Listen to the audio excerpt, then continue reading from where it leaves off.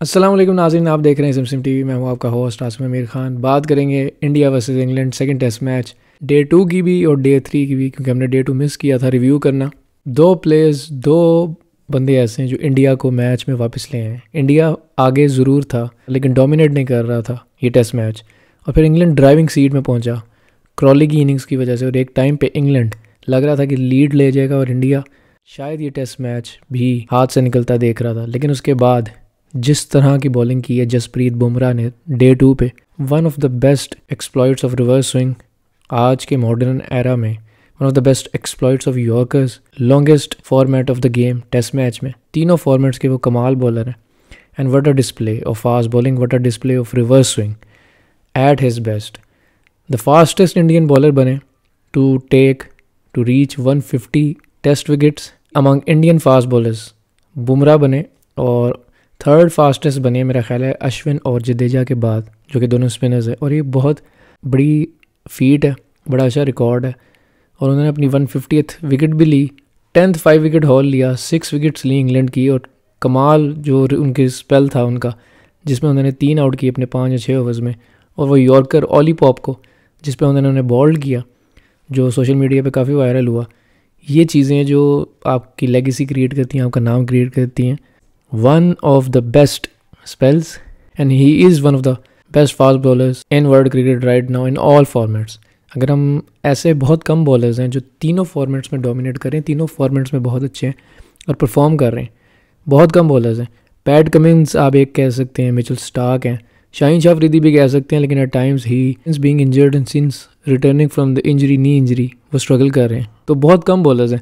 Rabada एक बहुत अच्छे बॉलर हैं। लेकिन Bumrah is among the best और जो उन्होंने डिस्प्ले किया है इस विकेट पे फ्लैट डेक पे, जो उन्होंने रिवर्स स्विंग का इस्तेमाल किया और एक्सप्लॉइट्स वकार यूनस भी इम्प्रेस हुए हैं और ज़ाहिर है सब इम्प्रेस होंगे। जिस तरह उन्होंने इंग्लैंड को डोमिनेट किया आउट ऑफ़ नोवेयर इंडिया को वो टेस्ट मैच में वापस ले आए और उन्होंने इंडिया को बाकायदा अपर हैंड दिया है, क्योंकि इंडिया डोमिनेट नहीं कर रहा था फ्रंट फुट पे ज़रूर था, लेकिन जो इंग्लैंड की पार्टनरशिप्स लग रही थी, इंग्लैंड इंडिया से आगे निकल सकता था। But Jasprit Bumrah day two पे इंडिया को मैच में वापस लाए। इंडिया ने अच्छी खासी लीड ली 143 रन्स की। और ये बड़ा अच्छा मार्जिन था। पहले टेस्ट मैच से बेशक कम था, लेकिन इस विकेट के हिसाब से बहुत अच्छा था। इसके बावजूद मैं समझता हूँ कि इंडिया को डे थ्री पे आज थोड़ी बेहतर बैटिंग का मुजाहरा करना चाहिए था। आज के हीरो जो दूसरे बंदे जो इंडिया को मैच में वापस लाए हैं, जब फिर एक दफ़ा लग रहा था कि इंडिया शायद ये टेस्ट जीतने से महरूम रह जाए और हार नज़र आ रही थी, हार नज़र आ रही थी, शिकस्त नज़र आ रही थी। The out of form one of the batsman under heavy criticism जिनको काफ़ी क्रिटिसाइज़ किया जा रहा था और मैंने जैसे कि अपनी पिछली दो, तीन वीडियो से पहले दो वीडियोस पहले ये बात की थी कि बाबर आज़म की तरह इंडिया को लॉन्ग रन देना चाहिए शुभमन गिल को just because he is dominating in the one day format तो ये बात क्लियर है कि ही इज़ वर्ल्ड क्लास उनके पास टैलेंट है।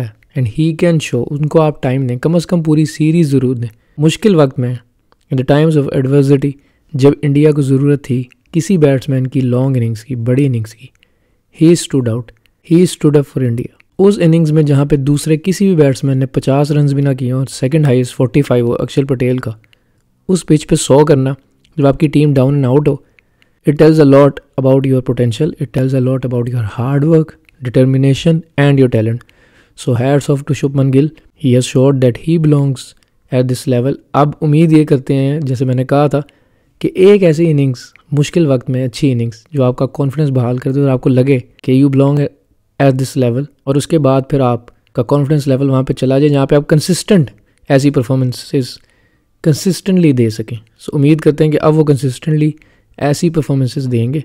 लेकिन तलवार श्रियास आयर के सर पे अभी भी लटक रही है। एक बार फिर से कोई बेहतर कारकर्दगी का मुजाहरा नहीं कर सके। रोहित शर्मा भी फेल हुए, लेकिन उनको पीच ओवर डिलीवरी की जेम्स एंडरसन ने। What a bowler what a man what a player what a cricketer at the age of forty one still going strong माशाल्लाह। और क्या बॉल किया?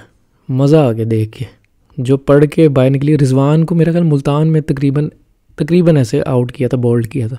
He still going at his best जो उन्होंने spell किया और बड़ी विकेट्स उन्होंने ली हैं। सिक्स नाइन्टी फाइव विकेट्स तक वो पहुँच गए डेविड एंड रजत पाटीदार वो फेल हो गए।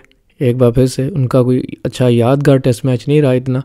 और इंडिया की पूरी बैटिंग कुछ नहीं कर सकी। अक्षर पटेल खड़े हुए 45 रन किए उन्होंने। तो इंडिया एक रिस्पेक्टेबल टोटल पे पहुँचा और शुभमन गिल की सेंचुरी की वजह से ऑब्वियसली वो लेके चले हैं पूरी टीम को। सो इंडिया ने 255 किया, लेकिन 50 रन कम अज़ कम मेरे हिसाब से इंडिया ने कम किए। कम अज़ कम साढ़े चार सौ का टारगेट बनता था। इंडिया को 300 ज़रूर करना चाहिए था इस विकेट पे कंसिडरिंग कि जिस तरह ये विकेट जा रही है। ये मानने वाली बात है कि पहले दिन जो विकेट थी, उतनी अच्छी नहीं है। बहुत अच्छी नहीं है, आहिस्ता आहिस्ता आहिस्ता। वो मुश्किल हो रही है, जो फ्लैट डेक था, वो थोड़ा मुश्किल हो रहा है। लेकिन फिर भी ये विकेट थी कि यहाँ पे आप थर्ड इनिंग्स में 300 करें, लेकिन शुभमन गिल ने third innings of the test match under pressure जो इनिंग्स खेली है, वो यादगार रहेगी उन्हें। और अगर ये मैच इंडिया जीतने में कामयाब हो जाता फिर तो शुभमन गिल की इनिंग्स हमेशा इंडिया की हिस्टोरिक विन्स में से एक मानी जाएगी क्योंकि coming back from behind zero one से भी वो ट्रेल कर रहे हैं। तो अगर वो जीतते हैं तो शुभमन गिल का बहुत बड़ा हाथ होगा और जसप्रीत बुमराह का भी ऑब्वियसली अब बात करते हैं क्या इंग्लैंड ये चेज़ करने में कामयाब होगा। टारगेट बढ़ा स्टार्ट उनको बहुत अच्छा मिला। सिक्सटी सेवन फॉर वन है वो। बेन टिकट ने बहुत अच्छा स्टार्ट दिया, एक बार फिर से जैक रोली ने। ये जो ओपनिंग ड्यू है ये हमेशा इंग्लैंड को अच्छे स्टार्ट देता है और अच्छे स्टार्ट दे रहा है कंसिस्टेंटली दे रहा है पिछले डेढ़ दो साल में। So again they have given a good start अभी जैक रोली विकेट पे खड़े हैं और night watchman Rehan Ahmed nine not out पे ऑफ़ एट डिलीवरीज तो बैटिंग तो आनी है, लेकिन जो रूट की उंगली में इंजरी हो गई है, उनको फिंगर इंजरी हो गई है, लेकिन फिर भी इंग्लैंड ने कहा वो बैटिंग करेंगे। लेकिन अब वो किस तरह बैटिंग करते हैं? कंफर्टेबल होंगे रन स्कोर कर सकेंगे ईजी होगा उनके लिए। ये एक चीज़ ऐसी है जो हमें कल नज़र आएगी और इंडिया इससे फ़ायदा उठा सकता है। दूसरा, जेम्स एंडरसन ने कहा है कि हमारे पास वन, हमारे पास one hundred and eighty overs हैं टोटल वन एटी दो दिन के नाइन्टी पर डे लेकिन we will try to achieve this target in sixty to seventy overs इसका मतलब साफ़ है कि कल इंग्लैंड आएगा कि मैच ख़त्म करना है। यहाँ जीतना है या हारना है। क्योंकि जब वो इस माइंड सेट के साथ आएँगे कि कल मैच ख़त्म करना है थ्री थर्टी टू हमने इन एटी नाइन्टी ओवर्स में करना है at a run rate of अब तकरीबन चार का तो this will give an opportunity to India also कि वो आउट कर सकें। और इंग्लैंड ने ये कहा है जेम्स एंडरसन ने भी कहा कि हमारे कोच ब्रेंडन मैकलम ने कहा था कि इंडिया बेशक 600 भी करके हमें दे टारगेट 600 का भी। हमने इसी माइंडसेट के साथ जाना है कि हमने वो अचीव करना है। हमने चेज़ करना है। और अगर इंग्लैंड ये करने में कामयाब हो जाता है सम हाउ जिसके चांसेस बेशक कम है। और मैं कहूँगा कि मैं इस वक्त फिफ्टी फिफ्टी कहूँगा। Fifty percent India fifty percent England you never know कि इंग्लैंड बैस बॉल ये चेज़ कर लें।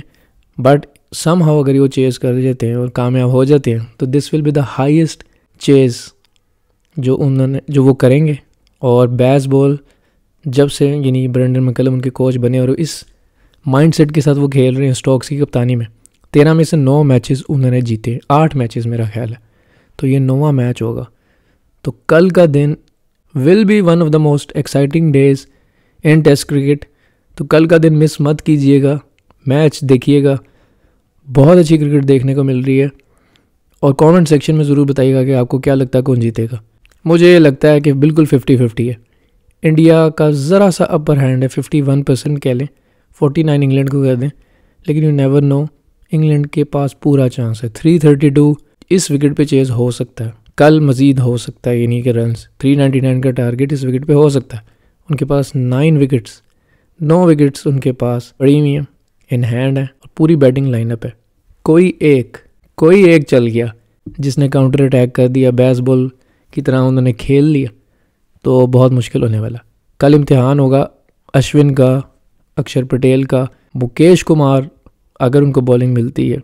जसप्रीत बुमराह से अब एक्सपेक्ट नहीं करना चाहिए। बेशक वो करेंगे, लेकिन वो अपना काम कर चुके हैं। एक ही बंदे पे आप बार बार रिलाई नहीं कर सकते। कुलदीप यादव। मेरे हिसाब से इंडिया के लिए ट्रंप कार्ड कुलदीप यादव होंगे। वो अगर कल अच्छी बॉलिंग कर गए तो इंडिया जीत जाएगा और वन वन हो जाएगा। वरना it will be two zero और मुश्किल होने वाली है। और फिर मज़ीद मुश्किल होगी इंडिया के लिए। सो स्टे ट्यून कल मिलेंगे। देखते हैं कल मैच का नतीजा किस रुख जाता है? अपना ख्याल रखें, हमारे चैनल को सब्सक्राइब करें। कमेंट सेक्शन में हमें ज़रूर बताएँ कि आपको क्या लगता है कल कौन जीत रहा है। फिर मिलेंगे इन एक नई वीडियो में सिमसिम टीवी से। अल्लाह हाफिज़।